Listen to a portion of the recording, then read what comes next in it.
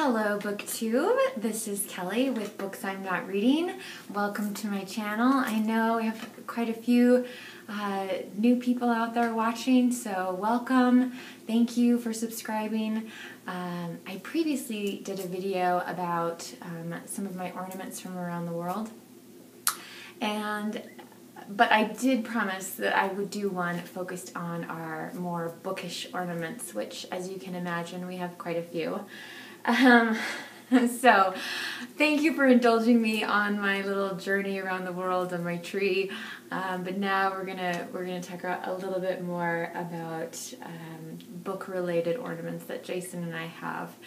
So I'm gonna start off with a few that some of you that some of you may have already um, that were you know accessible in a in a variety of stores. So uh, we have Charlotte's Web, and there is actually a spider hanging there. if you can see that. Uh, this is, um, we have two actually of these, so, but this is my favorite one, and this is Where the Wild Things Are, and I just love how it actually has like the book on the back of it. But um, yeah, so that one. While we were working at Barnes and Noble, they came out with um, a Peter Rabbit ornament. So, uh, Jasmine from Jasmine's Reads. Now we will think of you as well when we look at our little Peter Rabbit, um, as Beatrix Potter is from uh, Jasmine's, where Jasmine grew up in the Lake District. So, there's that one. These might have been a little I saw them in multiple places, so um, so you may have them, you may not, but uh, this is a great one. as soon as I saw this, I was like, oh, we have to have that because just a big giant pile of books. Um, I think this is how Jason would decorate the entire house if he had his way. We also have one that uh, is for book club members, which I'm trying to get close enough so that you can see. Uh, and I think it actually, yeah, it's it's Sense and Sensibility, which made Jason happy. Um, but we got this. We have a little tiny Christmas store here in town that's just open from like October to Christmas, and uh, so every one year we got this ornament for all of the members of um, the book club that we're in, and of course we had to get one for ourselves. So all right, I love this one. I think my parents got this for us. It's dated 2007. So Jason and I would have been married a year. Um, and it's a bookstore. So at the time, we were both working for Barnes & Noble. And then on the other side, you can see there's shelves, chairs. There's a little, a tiny, tiny little cash register. I do have to say though, I've never been to a bookstore like this. um, I love that there's like a ladder for the books, but there's only like two, like there's like books on this side and books on this side, and that's it. So, anyway, but it also looks like it's a very comfy place. There's a Christmas tree all the way in the back there. Can you see it? So, uh, anyway, it's a very charming uh, ornament, and like I said, I have a feeling there's a few of you out there with it. Um, so next, Jason, uh, you know, at his office makes no bones about how much he loves books. And one year, uh, somebody in his office actually made these ornaments for him, which was very kind of her. And um, I do worry about how fragile they are. They're very kind of Etsy-ish. So I mean, she made them herself. So there's a bunch of words in there with the little bows on that one. Then we have one with almost like dollhouse size little books, which I think is really cute.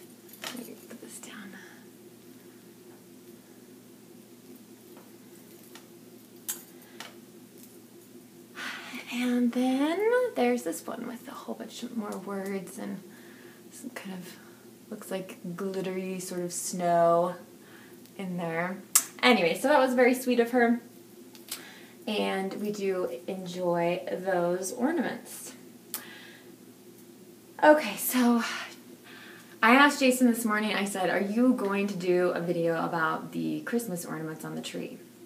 And he decided no, but it was only on the condition that I include the following ornament in this video. So, I know he doesn't look very bookish from the outside, and no, this is not Wilbur. okay. this is Earl Butz, um, who is a pig, and not just any pig, he is a white landrace pig. And he is a uh, prominent figure in Jane Smiley's book Moo, which I have not read. But Jason absolutely loves that book, and my God, I think I think we had to be. We were in another town when we bought this ornament. I mean, we were looking at, at pigs everywhere. It was just so weird. We're like, "Do you have any pig ornaments?" You know, looking for this one pig, and he'd be like, "No, that's not. That's not what that kind of pig looks like. It's not what a white landrace looks like." So, anyway, I uh, have to make sure Earl Butz is on the tree. um, these next two I actually bought on clearance after Christmas. Um, not last year, but the year before. Uh, I I thought they were fantastic, but they were a little out of my price range pre-Christmas.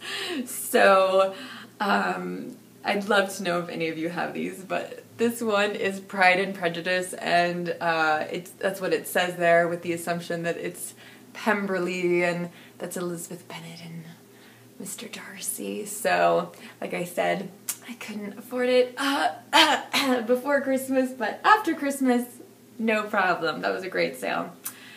This ornament is very special. Um, and again, I, I didn't buy it pre-Christmas. I bought it after the fact. I'll get a little bit closer here. But there's a quote from A Christmas Carol on there.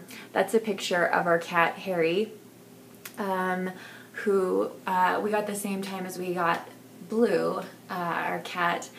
But um, Harry got really sick and uh, he only spent less than a year with us. But every every minute was a joy um, with him. So we really miss him a lot. And uh, he loved the Christmas tree, uh, wanted to climb the Christmas tree. But it, it also, uh, the quote is, I will honor Christmas in my heart and try to keep it all the year. Um, you know, this ornament doesn't just represent Harry, like, it represents um, people that we have loved and lost. And so this is um, a very important ornament on the tree and always gets put someplace where we can see it.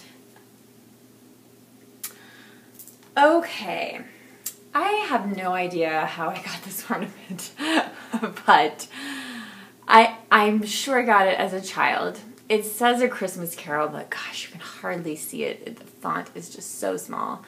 Um, and it says by Charles Dickens. There is not a single sentence, a single word from A Christmas Carol in this little book. And I am not familiar with any of the little phrases and stories that are in here. They're all about Santa, um, Santa's factory, and I, I, but there's no, you know, Santa likes good children. Shocker there, I'm sure. Uh, anyway, so I've had this for eons and uh, of course when i married jason and he saw that this is my ornament like he was thrilled. So that um, that goes up on the tree as well. Okay the last ones my grandmother and my mother uh, my mother is and my grandmother was tremendously creative people and made made spectacular ornaments for trees and shared them with people and that sort of thing. So, uh, and I was lucky enough to inherit um, these from, I'm pretty sure that these were on my grandma's tree. But it's the Wizard of Oz, and I don't know how old they are. They've held up pretty well. I mean, there's a few a few things probably missing here and there, a few sequins. So there's a good look at the scarecrow. We have the lion, um, the Tin Man. I mean, considering how old they are, I think it's pretty it's pretty astonishing. And then this is Dorothy, and the thing that I really love about Dorothy is like she's not this is not Judy Garland. um, there's no blue gingham dress. And I don't know if that's because my grandmother just wanted to use materials she already has, uh, already had, um, which sounds very much like her. And I mean, I, you know, I find it hard to believe that she would have made these prior to the movie, but I have no. Again, I don't don't know how old they are, so. Uh, anyway, you, you just can't buy things like this anymore. Uh, you have to go to a, a, craft fair or some kind of specialty thing. And then most more recently, we got a pair. And this is like a, probably a Hallmark ornament. Um, a nice pair of the uh, ruby slippers there. So so I try to hang those all together on the tree and low down so that if blue swats at them, um, it's not a big deal. So that's kind of a look at the bookish ornaments on my tree. I hope I didn't miss any, but I probably did. Um, the last thing I wanted to share with you was um, I, I really like sharing some of my family um, traditions at Christmas. And one of them is that it's good luck to have a bird's nest on your tree. And I apologize if I've said this in a previous video, but it's good luck to have. And so we have we have lots and lots of bird houses and bird nests. Um, but this is this is the one I have. I think once upon a time there might have been two eggs in there. I'm not sure, but there's at least still one there. Maybe the other one hatched and is flying on my tree. but anyway, so that was always something growing up that was a big deal that we had to we had to make sure the bird's nest was on the tree. So not a bookish thing, but just a family thing to share with you. Those are my, my bookish ornaments. I hope you enjoyed it. And again, welcome to those of you who are new. Thank you so much to those of you who have been around for a while. And I hope you have a wonderful day. I've really enjoyed seeing other people's Christmas trees and, and other people doing kind of ornament tours. I think that's really cool. Um, some of you uh, have gone to you know markets where they're selling ornaments and that's great. That's really fun. So i know we're deviating a little bit from what we normally talk about on booktube but it's good to mix it up a little bit right? So take care everyone. Have a great day. Um, remember to be kind to yourself and others. Bye